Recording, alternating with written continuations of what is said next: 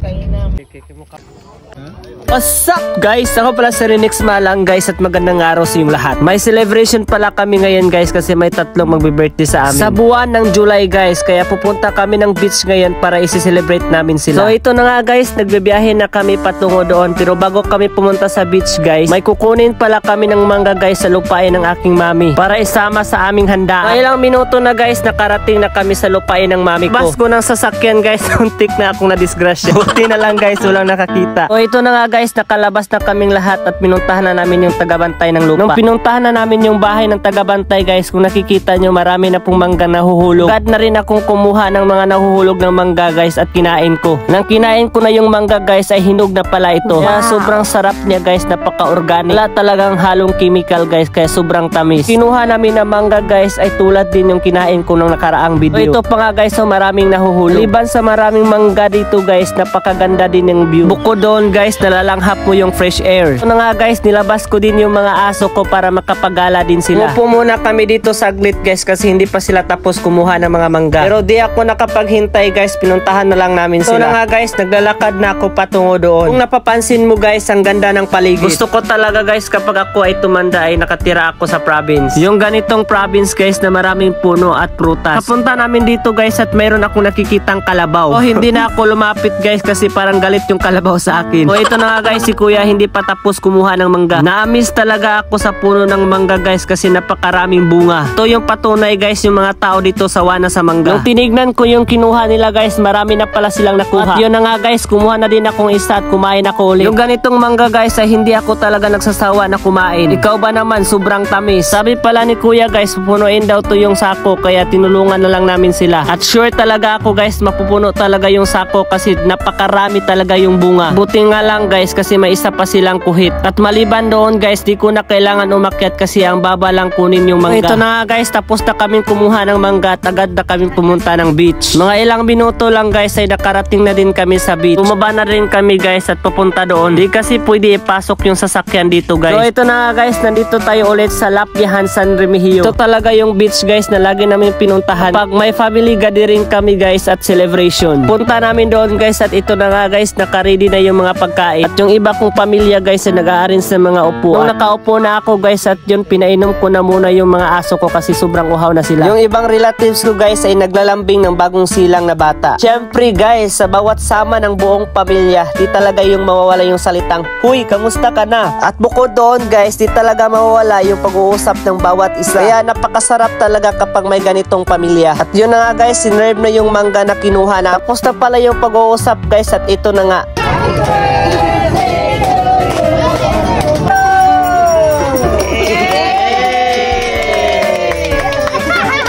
At fuck, ang litson, ang sarap guys. Kita mo yung litson. Tapos na pala kumanta kami ng happy birthday guys at yun, kumakain na kami. Teka lang guys, kain muna ako.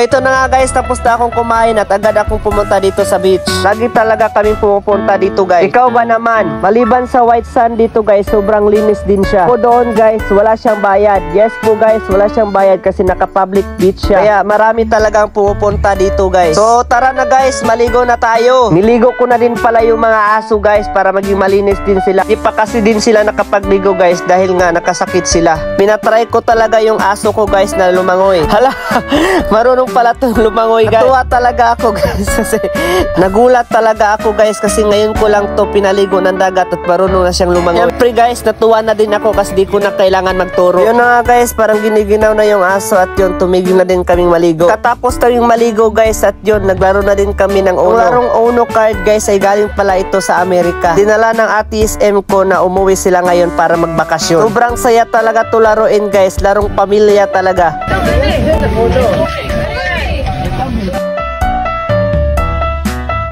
So tapos na pala kami maglaro guys at syempre di mawala yung picture ng buong pamilya.